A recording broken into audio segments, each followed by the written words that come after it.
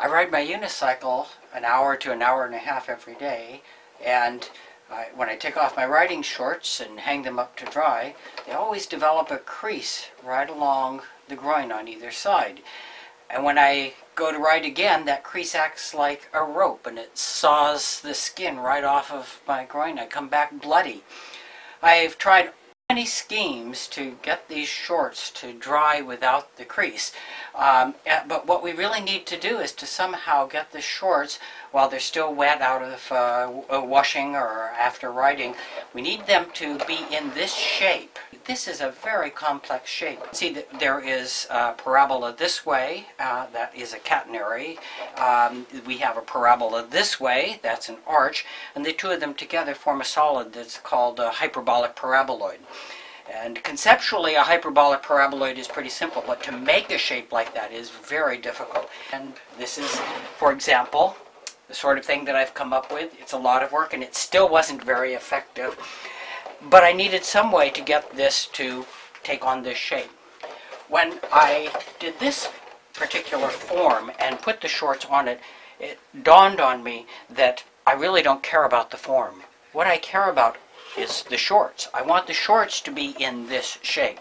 And it doesn't matter how complex or simple the form is. So you look at this and say, okay, what kind of a form is going to do this? I'm going to show you. It's something you can make in five minutes. All you need is a cardboard form like this. We don't care about what's happening in the middle. The shorts are going to take on the hyperbolic paraboloid shape all by themselves. All we have to do is have the legs held up by this shape.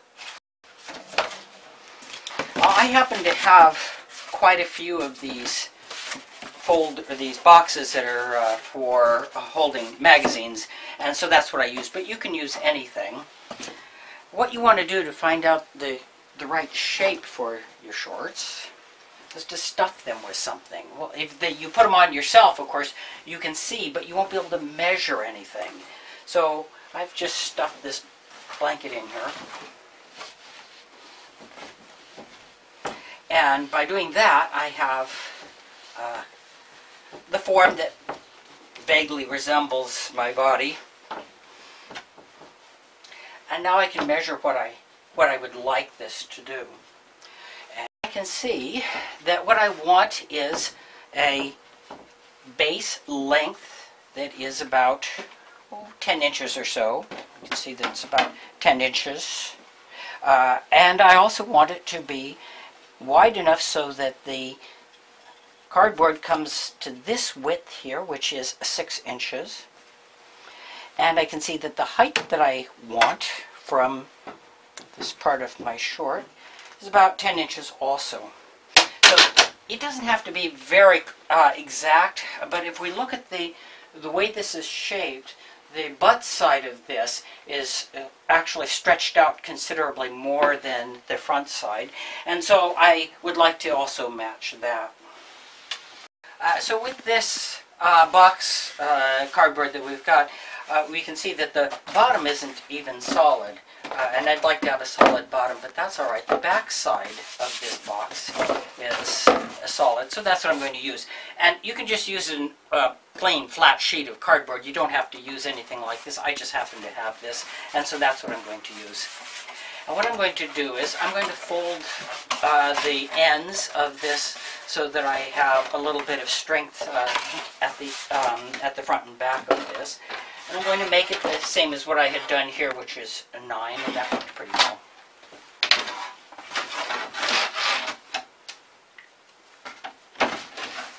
And I can see that this is going to fold right here, so that's going to be one end of it.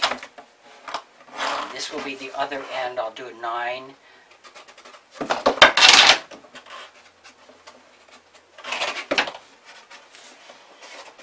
And I'm going to put my uh, tail side on here because I already have a cut. Again, this is just because it's what I happen to have. But you can see, you can do this with anything, and I'm going to make it 9 inches tall, which is, you can see that that's the most I can get out of this box. And I'm going to go up like this. So that'll be the front side. my back side, tailpiece, is going to be stretched out.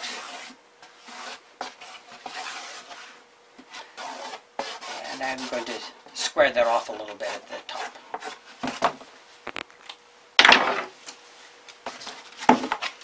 I'm going to save a little bit of that end part for my uh, support.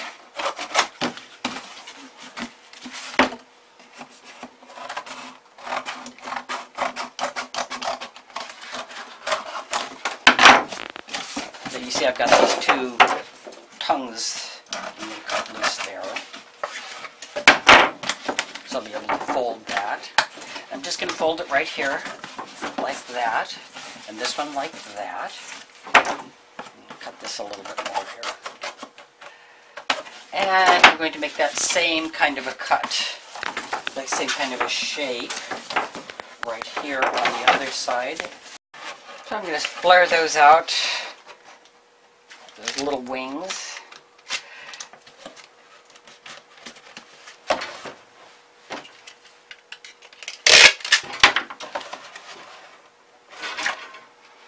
Now one thing that I also want to do with this is to have the um, end uh, dip down so that the shorts can lay down a little better than they would if I had a flat edge. So you see I've, I've got a dip and that will accommodate the shorts a little better.